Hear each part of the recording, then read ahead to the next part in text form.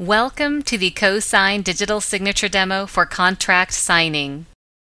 In the following scenario, a non-disclosure agreement is routed between John Miller of Miller Accounting and Rome Tech. After reviewing the NDA, John simply right-clicks on the signature field to sign the document. He selects Sign, and he enters his reason for signing the document.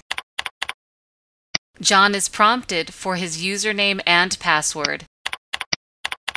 And John's signature is applied to the document. CoSign seals and secures the contract, protecting against attempted forgery or changes to the document. By right-clicking on John's signature, we select Details. The signature details show that a valid CoSign signature provides proof of identity, intent, and transaction integrity.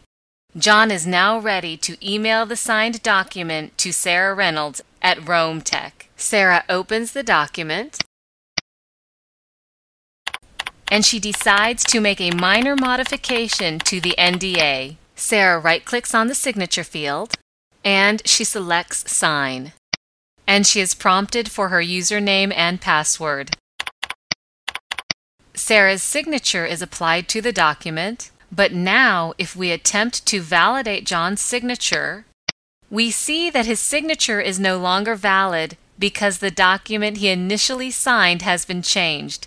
A contract signed with cosign guarantees proof of signer identity, intent, and transaction integrity over the life of the document. CoSign keeps your business moving and makes it easy for business to be done electronically from anywhere. Thank you for watching the demo.